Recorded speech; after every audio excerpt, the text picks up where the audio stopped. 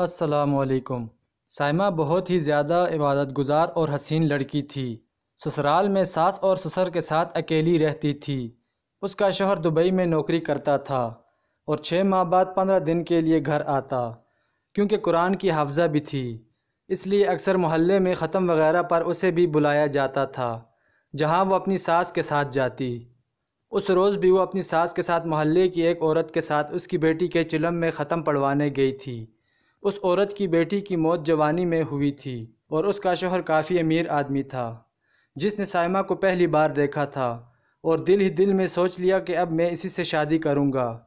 साइमा उसे बेहद पसंद आ गई थी और क्योंकि इनकी कोई जान पहचान ना थी, इसलिए वो उसकी सास को उसकी माँ समझ रहा था।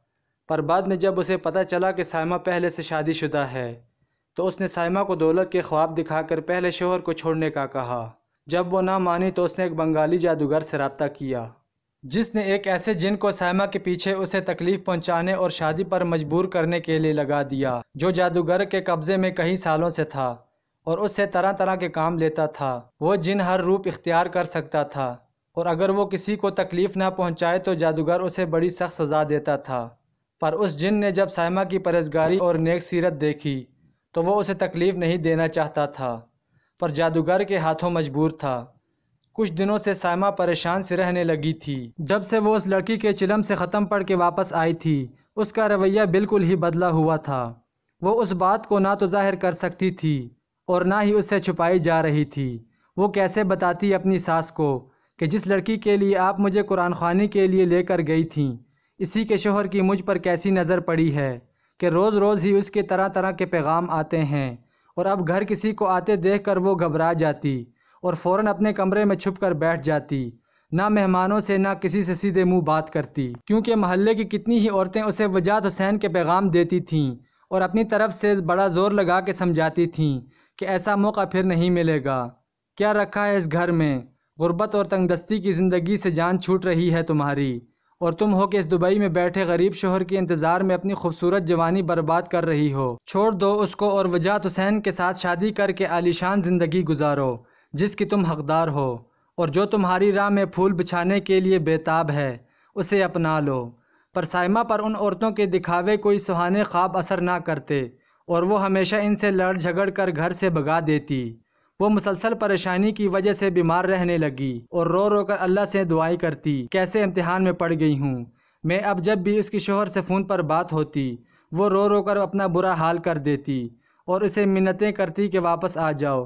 पर वो वहाँ से जो रकम घर खर्च के लिए भेजता था, वो कर्ज था। उस पर वो हमेशा उसे हिम्मत करने का कहता और कुछ महीने इंतज़ार करने का कहकर फ़ोन काट देता।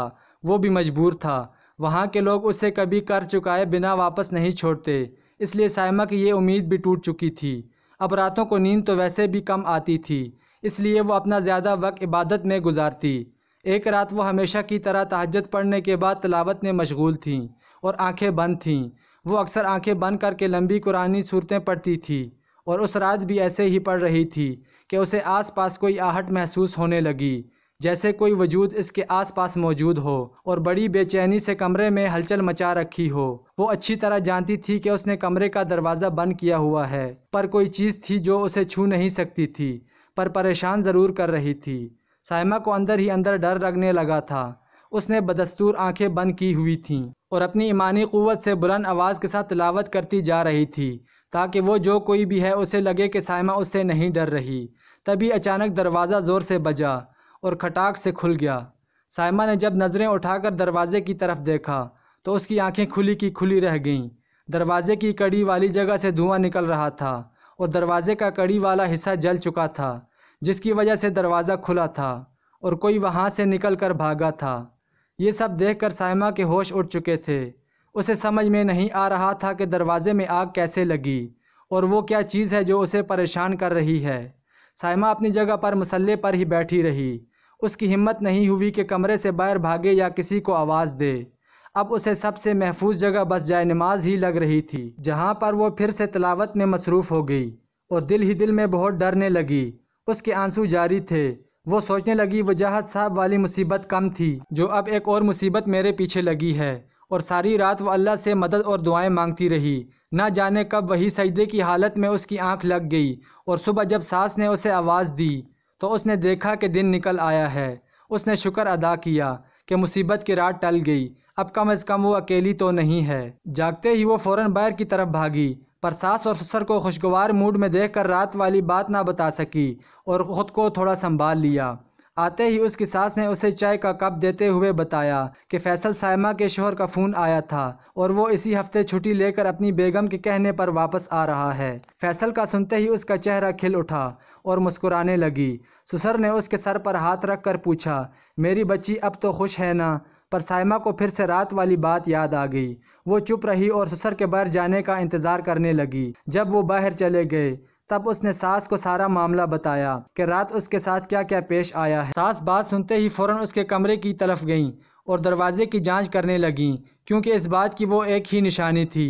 पर उन्होंने वहाँ जाकर देखा कि दरवाज़ा बिल्कुल ठीक है, ना जला हुआ है, ना टूटा हुआ है और साइमा को तसल्ली दी कि बीमारी की वजह से तुम परेशान रहने लगी हो, इसलिए कोई बुरा ख्वाब देखा होगा। वो अपनी बात कहकर चली गईं, पर साइमा हैरान और परेशान थी। वही खिड़की दरवाजे को देखने लगी, जो बिल्कुल ठीक था। तभी सायमा ने सोचा कि शायद वजात हुसैन की तरफ़ से शादी के लिए डाले गए बहुत ज़्यादा दबाव की वजह से वो जहनी मरीज़ा बनती जा रही है और इस तरह डरने लगी है। उसने फैसला किया कि आज उसकी बहुत सारी बातें सास को बताकर इस परेशानी को फैसल के आने से पहले ही ख़त्म कर दूँगी। यही बात सोचते सोचते वो दरवाज़ा खोलकर कमरे में दाखिल हुई और सामने बिछी हुई जाय नमाज़ की तरफ़ देखा, जिसको खुला ही छोड़कर भागी थी। वो हैरान हुई कि क्या मैं ख्वाब से इस कदर डर सकती हूँ। फिर उसने एक नज़र दरवाजे के उस हिस्से पर डाली, जिसे उसने जलता हुआ देखा था। ये देखकर वो चौंक गई और घबराहट से उसके पसीने छूटने लगे कि दरवाजे को बड़ी महारत के साथ जलने के बाद फिर से ठीक किया गया है, जिसके बाद फ़र्क बहुत गौर करने पर ही महसूस हो रहा है। उसका दिमाग ये कबूल करने के लिए तैयार ही नहीं था कि सब एक ही रात में हुआ है, और वो जान चुकी थी कि ये सब कुछ गैबी मखलूक का काम है, जो आगे उसके लिए बहुत मुश्किलें पैदा करने वाली है।